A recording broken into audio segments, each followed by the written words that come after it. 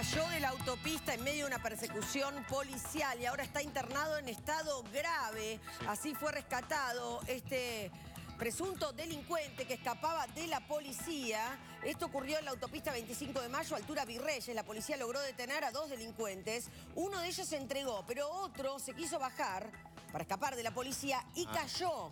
Fue trasladado, cayó de gran altura, ¿eh? Fue trasladado, está en estado grave y continúa el operativo en la zona. Cuando cae, también arroja el arma que está ahí tirada en el suelo, como recién lo veíamos. Vean ustedes, bueno, el hombre ensangrentado, eh, eh, producto de la caída, desde la autopista, cuando estaba intentando escapar en medio de este importante operativo. Todavía no se sabe en medio de qué hecho delictivo estaban involucrados, pero sí que habían recibido la policía un llamado al 911. Se dio una importante persecución policial sobre la autopista 25 de mayo, altura Virreyes.